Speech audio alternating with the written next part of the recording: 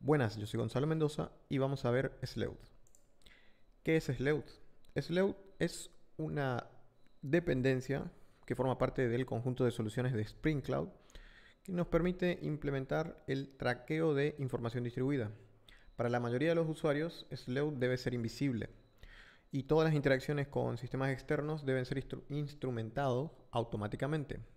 Se puede capturar información simple a través de logs o puede ser enviado a sistemas de colección remota. Vamos a ver algunas características de, de Sleut. Sleut lo que maneja es una unidad básica de información llamado span. Un span en sí vendría a ser un conjunto de, de datos traqueables. Por ejemplo, si enviamos un nuevo, una nueva petición a un servicio RPC, se formará un nuevo span en la cual formará parte tanto la request como la response. Todos los spans están identificados por un ID único de 64 bits y también tenemos dentro del span un, dato que también es del tipo ID de 64 bits que es el trace ID. En conjunto forman parte de lo que es el span. Los span lo que nos permiten es también formar estas estructuras de árbol para poder traquear más fácilmente. Por ejemplo, si estamos ejecutando un sistema de Big Data distribuido, lo más simple es tener traqueable, digamos, cada característica o cada llamada o cada funcionalidad a partir de un span. Bien, aquí vemos un pequeño resumen en el cual nos muestra cómo se implementa esto. Cada span se crea a través de la librería SLF4J, a través del artefacto MDC, con lo cual ahí podemos manejar todos los logs o los agregados.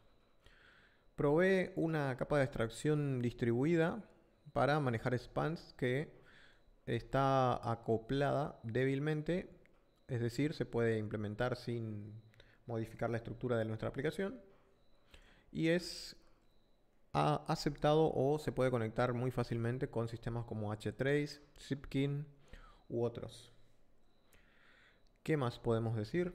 Esto también tiene muy buena compatibilidad con todo lo que es la arquitectura de Spring Cloud, es decir, cada vez que se llama o se dispara algún evento a través de un, filtro de servlet, se llama un REST template, un schedule, se manda algún mensaje o se llama algún faint client, se va a crear un span.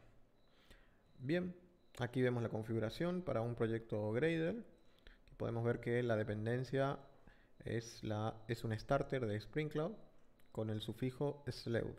Todo el resto es la típica configuración de Spring. Bien, finalmente podemos ver la estructura de Sleut a la hora de generar un span. Aquí podemos ver que la estructura es application name, trace ID, span ID y export. El application name es importante para identificar la aplicación. El trace ID es el ID único que se dispara a la hora de generar un job, un request o una acción. Como dijimos antes, son IDs únicos de 64 bits. El span ID viene a ser el ID de nuestra unidad de trabajo, que va a estar asociada a una acción, a un una llamada a un faint client, a una llamada RPC o similares. Y el export es una propiedad booleana que nos indica si el, el actual span está siendo enviado a algún sistema externo como Zipkin. Bien, aquí finaliza esto, vamos a ver un ejemplo. Yo tengo por acá un proyecto, fíjense, un proyecto Spring Cloud. Vamos a ver el build Gradle. Estoy usando Spring Boot 2.30 Milestone 4 y si bajamos por aquí podemos ver, vamos a ver acá, acá está, acá tenemos la dependencia de Sleut. Bien, como esto es autoconfigurado, nosotros tranquilamente podemos ejecutar esta aplicación y ver qué sucede. Vamos a ejecutarlo con el plugin de Spring Boot y vamos a ver qué obtenemos. Bien, aquí como pueden ver, tenemos la típica ejecución de Spring, pero si se fijan bien, en esta parte aquí adelante se nos agregó lo de Sleuth, que está separado con tres comas, es decir, tenemos cuatro campos que deberían estar cargados. No lo están debido a que no, hemos, no se ha especificado el nombre de la aplicación y los demás datos se cargan dinámicamente.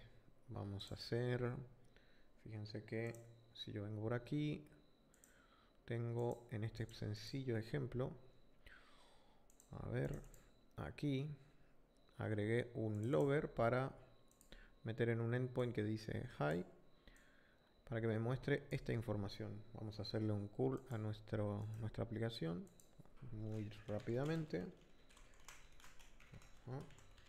Localhost 8080 Bien, aquí llamo al servicio y si se fijan, aquí se disparó el primer log. Tenemos, no tenemos el nombre de la aplicación colocada, Segundo teníamos el Trace ID. Tercero tenemos el Span ID, que si no lo configuramos siempre va a ser igual al Trace ID. Y finalmente tenemos el flag para que se indique si se está exportando esta información. Aquí abajo, si pueden ver, este paquete, esta clase que se llama helper, disparó un un span ID diferente. Fíjense que a esta altura tenemos span ID y no es exactamente igual a las anteriores. ¿Por qué no es igual? Porque aquí se ejecutó en otro hilo de ejecución. Fíjense que si yo voy acá a la clase helper, al método high, como pueden ver aquí, vamos a borrar esto porque no se está utilizando. Tenemos este log que se está disparando para esta clase, la, la clase helper. Estoy dentro de un nuevo thread con un nuevo span. Es decir, el span que se venía usando para el proceso anterior ya no se está utilizando y se ha creado uno para este proceso. Lo que aquí no ha cambiado es el trace ID. El trace ID va a ser exactamente el mismo para toda la ejecución de esta request. Esto es sumamente útil para poder identificar hacia adelante todos los pasos por los cuales va pasando la request. Bien, finalmente vamos a ver una, modificación de eso, ya que este log no es muy manejable. Fíjense que lo que sería conveniente es que esto esté mapeado a variables para que un sistema externo pueda manejarlo de manera más conveniente. Entonces lo que voy a hacer aquí, fíjense, tengo este logback está hecho con trace ID y span ID, pero con la forma de variables. Vamos a cambiarle el nombre a esto. Vamos a dejarlo como logback. Para que los el tipo de log que veamos sea de esta característica. Vamos a sacar esto de acá, lo ponemos después de la fecha. Así. Bien. Entonces vamos a tener trace ID y span ID. Vamos a volver a ejecutar la aplicación. Y vamos a hacer la misma prueba. Aquí deberíamos ver logs diferentes, con una estructura diferente. Bien, como pueden ver, efectivamente cambió la forma. Todavía no tenemos trace ID y span ID, pero se encuentran de la forma clave igual a valor. Vamos a ejecutar nuevamente el request y como pueden ver, aquí se cargó nuevamente. Tenemos el trace ID aquí. Para el sample controller tenemos el mismo trace ID y el mismo span ID para ambos. Lo que cambió fue, como dije antes, en el último el span. Bien, eso ha sido todo por ahora. Espero les haya sido de utilidad y muchas gracias por escuchar. Hasta luego.